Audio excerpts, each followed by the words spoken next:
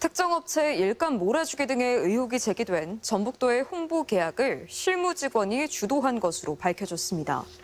전북자치도감사위원회는 특정 업체 특혜 제공 등 16건의 위반 사항을 확인한 결과 7급 임기제 담당 공무원이 업체와 결탁해 비위를 주도한 것으로 파악됐다며 해당 주무관과 업체 두 곳을 수사 의뢰했다고 밝혔습니다. 감사위는 충분한 서류 증거 등을 토대로 감사를 진행한 결과 간부 공무원 모르게 비위를 저질렀다는 진술을 확보했다며 주무관은 중징계, 과장과 팀장은 신분상 문책에 해당하는 경징계를 요구한 배경을 설명했습니다.